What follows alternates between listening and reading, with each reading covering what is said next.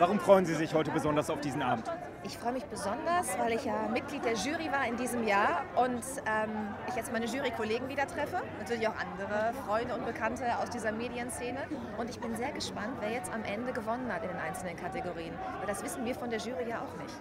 Weil wir haben zwar die drei Nominierten bestimmt in offener Wahl, aber wer dann letztendlich gewonnen hat jeweils, das haben wir in geheimer Wahl bestimmt. Also jeder hat einen Namen auf einen Zettel geschrieben, der kam in einen Umschlag, ich weiß es nicht. Insofern ist es ein sehr äh, spannungsvoller Abend. Wie groß ist die Verantwortung, die man bei so etwas fühlt? Ja, die ist schon groß, aber ich muss sagen, wenn man mit, mit bestem Wissen und Gewissen sich die Filme anschaut und sich ähm, Gedanken macht, das habe ich getan. Also ich habe mir wirklich aufgeschrieben, was mir gut gefallen hat, was mir nicht so gut gefallen hat. Und man entwickelt natürlich auch, wenn man 36 Filme sieht, ein ganz gutes Raster, was man so einordnet, wie man das einordnen kann und muss und sollte. Und deswegen bin also ich stehe total zu meinen Entscheidungen. Und auch äh, in der Diskussion in der Jury habe ich gemerkt, dass die Argumente, die ich so mir überlegt hatte, dass die auch in der Diskussion Bestand haben.